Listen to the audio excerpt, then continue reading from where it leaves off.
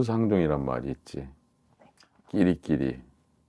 이 얘기를 왜 꺼내냐면은 자네는 성씨가 뭐야? 김이요. 어디 김씨? 김해 김씨. 너 저도요. 같은 김씨, 김해 네. 김씨야?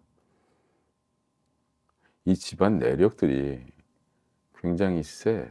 그러니까 너는 서른여섯, 너는 서른여덟, 네. 음, 연상 연하잖아. 근데 아마 이 36년, 38년 살아오는 세월이 녹록치 않았을 거야. 일반적이지 않았고 평범하지 않았을 거고. 그 얘기는 뭐냐면 물론 부모님들도 열심히 살아보시려고 했지만 뭐그 풍족하다는 것보단 가난이라는 쪽에 아마 맞으실 거고 두 집안 다 똑같이.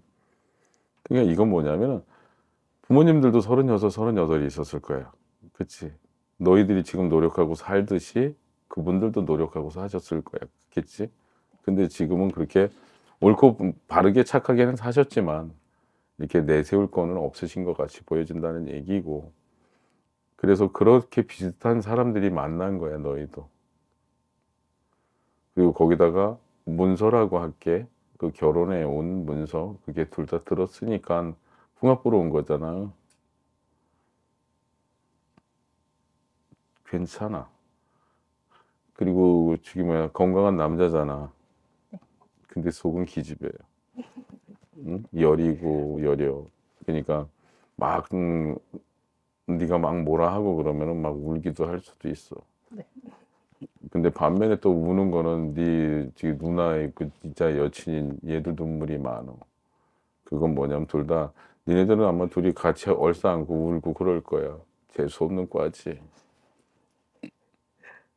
근데 열심히 살아보고 가장 큰 거는 그거야. 내가 자네 나이 때 이 길을 들어서서 지금 19년 차가 됐거든. 너는 얼마나 좋냐 그래도. 두 살밖에 안 많은 누나 만나서 결혼이라는 것도 생각하고 있고 이게 잘 맞아. 이게 왜 맞냐면은 서로 위하는 마음이 크, 크다는 거야. 물론 사랑하고 서로 위하는 마음이 있어야 결혼을 하겠지. 아무튼 둘이는 잘 맞는다는 거. 그리고 또 근데 음, 너 하는 일이 뭔지는 잘 모르겠는데 생일이 언제니? 저 1월 19일. 1월 19일? 그럼 양력이잖아. 그 음력으로 치면은 그 음력으로 치면은 네가 2월. 음력으로 치면은 더 빠를 걸? 12월 이때쯤 되지 않을까? 잠깐 내가 너 거는 조금 이상하게 걸린다. 89년? 1월? 19일. 이게 양력이잖아. 그러니까 너는 야- 음력으로 하면은 한 살이 더 먹은 용띠가 되는 거거든. 용띠로 살아. 88년 12월 12일이거든. 음력으로 치면은 왜 그렇게 살으라고 하냐면은 12월 12일이라는 거에는 제복이 쫓아가. 제복이 있다는 얘기야. 그리고 지금 이렇게 하면은 금년이 나가는 삼재거든 너한테는. 삼재 아예 나가는 게 낫지 나중에 찾아오는 것보다. 지금 너희 둘 다 공통된 게 뭐냐면은 둘 다 3, 4년 되게 힘들었다는 거야. 두 사람 다 똑같이. 쉬운 말로 너희들이 돈 벌지만 벌은 게 일부분은 거의 집으로 또 보태야 되는 거고 그렇잖아 이제는 니네들이 이제 미래를 설계해서 니네들이 그냥 쪼개고 쪼개고 해서 적금도 하고 뭐도 하고 이래야 되는데 큰 부분이 부- 집 쪽으로도 지원이 돼야 된다는 거야. 그렇기 때문에 가진 게 거의 없- 별로야, 너희들이.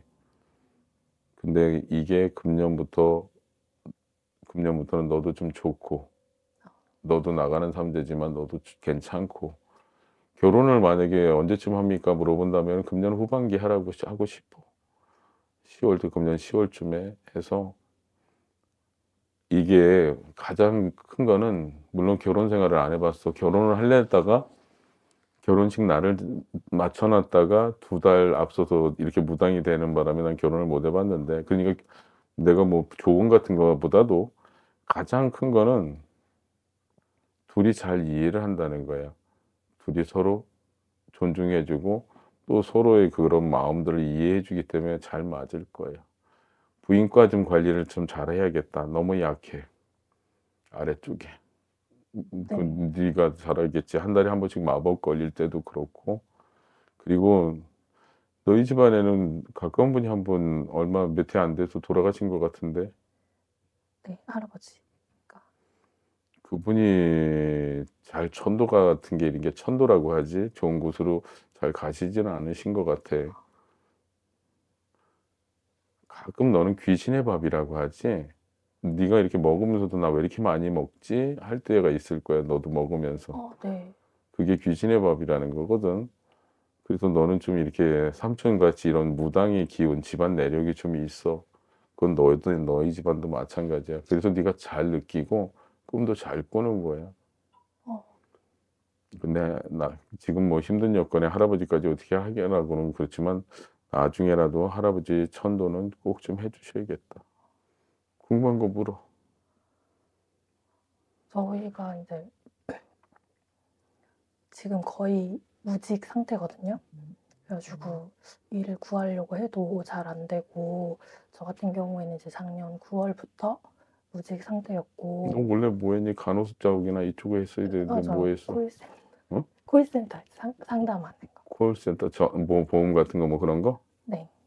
그런 건 안 맞지. 네, 그리고 그러고 이제 그 뭐 공장 이런 데도 가봤는데 음, 좀 잘 안 됐어요. 몸이 계속 아프고 그래가지고 근데 계속 일이 좀 잘 안 구해지더라고요. 그래가지고 좀 답답한 마음이 있어가지고 가장 큰 건 그거야. 아까도 내가 얘기했잖아. 니네들 2, 3년 되게 힘들었다고.